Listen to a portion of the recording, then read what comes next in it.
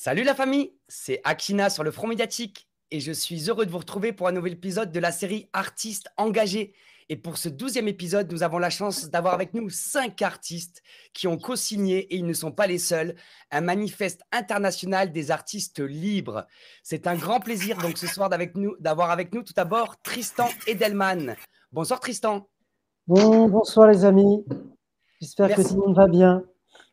Ça va très bien. Nous sommes très heureux de vous accueillir sur le front médiatique. Nous avons aussi ce soir avec nous Céline Magrini. Bonsoir Céline. Bonsoir la famille. Merci à toi aussi d'être présente ce soir pour parler de ce manifeste international. Nous avons aussi donc la chance d'avoir avec nous Olaf, Olaf Props. Excuse-moi pour la prononciation. Bonsoir Olaf. Bonjour la famille. Merci à toi d'être avec nous. Nous avons aussi la chance d'avoir avec nous Ira Depuif. Bonjour la famille.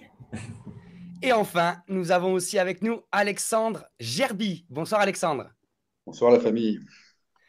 Eh bien vraiment, ça fait plaisir. Voilà, c'est ça fait longtemps, de nombreux mois que les citoyens se posent la question où sont les artistes dans ce que nous vivons actuellement depuis maintenant plus d'un an et demi? Et eh bien là, aujourd'hui, c'est plus de 30 artistes de toutes disciplines et de tout pays, inconnus du grand public, qui sortent de l'ombre pour rappeler que leur vocation est au service de la liberté et non au service de la discrimination. Ces premiers de cordée, comme vous vous citez, soutenus par des milliers d'autres, appartiennent à la partie invisible de l'iceberg. C'est pour ça qu'on vous invite sur le front médiatique. Tout comme l'État ne représente plus le peuple, la pointe de l'iceberg ne représente plus l'art. C'est donc aux partis immergés de prendre le relais, faire entendre une autre voix que celle du chantage, de la soumission et de la dépression. Derrière ce manifeste des artistes libres, c'est tout un mouvement créatif et spontané qui s'organise pour retisser un autre monde.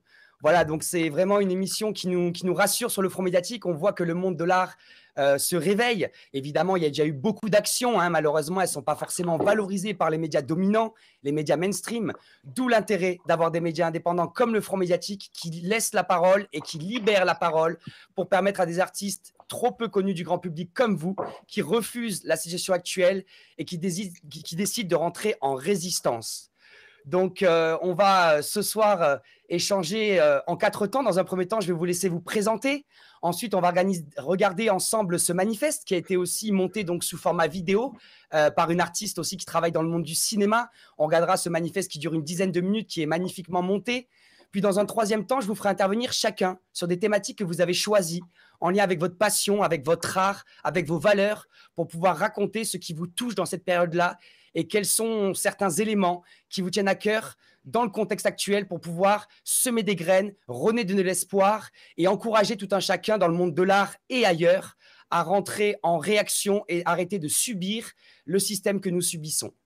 Et enfin, on finira sur une petite discussion informelle. Voilà, les internautes pourront aussi nous poser quelques questions. N'hésitez pas, Marin à la technique, que je remercie en début d'émission aussi de nous accompagner, fera remonter les questions euh, pour cette fin d'émission où on finira donc sur un échange, comme je le disais, un peu plus informel.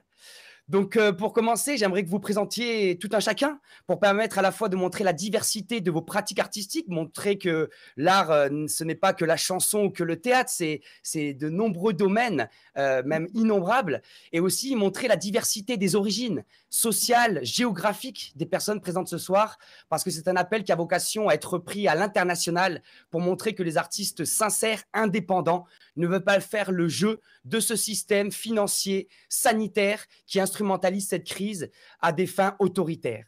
Donc, on peut commencer tout d'abord avec toi, Tristan Edelman. Est-ce que tu pourrais te présenter rapidement pour la communauté, s'il te plaît? On a déjà eu la chance de t'accueillir il y a quelques mois sur le front médiatique, mais peut-être que les internautes n'ont pas regardé euh, notre échange. Donc, je te laisse te présenter rapidement, Tristan, s'il te plaît.